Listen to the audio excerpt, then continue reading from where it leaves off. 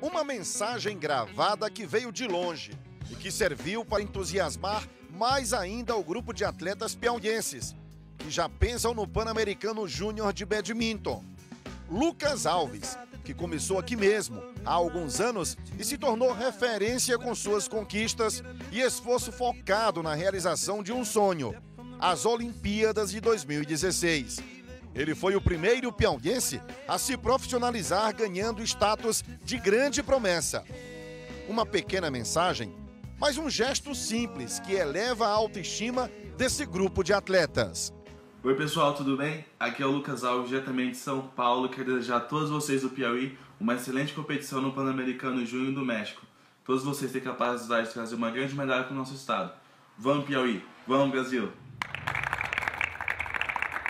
Paradinha rápida e foco nos treinos.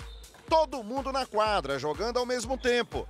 Segundo a comissão técnica, todos estão prontos para a viagem.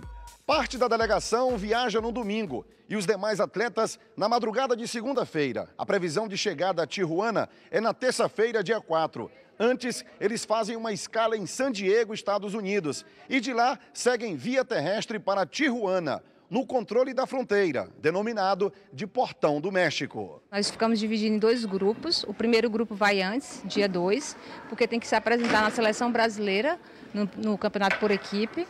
O segundo grupo vai no dia 3.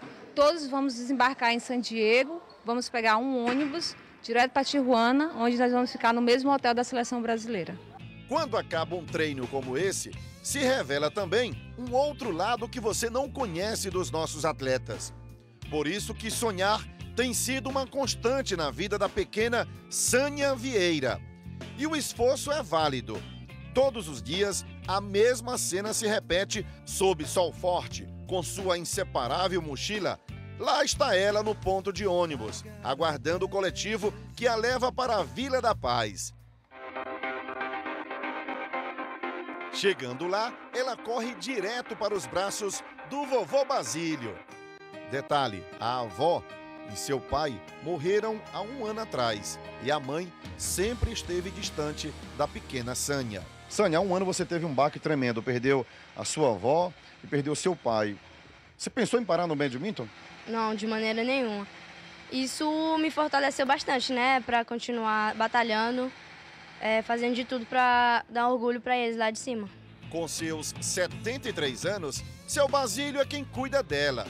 Seu incentivo levou essa grande promessa do nosso estado a grandes conquistas. Em 2012, no Canadá, ela deitou e rolou e ganhou três medalhas para o Brasil. Você se orgulha ao ver ela no pódio com a bandeira do Piauí, do Brasil? Você fica orgulhoso? Eu fico muito emocionado, que eu, coisa que eu não esperava da, da minha família e apareceu essas duas criaturas para fazer essa bondade na minha vida. Seu Basílio realmente tem razão ao mencionar o badminton como transformador de sonhos. Outra neta dele, Sâmia Vieira, irmã de Sânia, está em Campinas, já fazendo parte da seleção brasileira. O badminton do Brasil agradece seu Basílio. É muito gratificante. E não é meu avô, é meu bebê. Seu bebê por quê, hein? Bom, porque ele me ajuda em tudo que eu faço.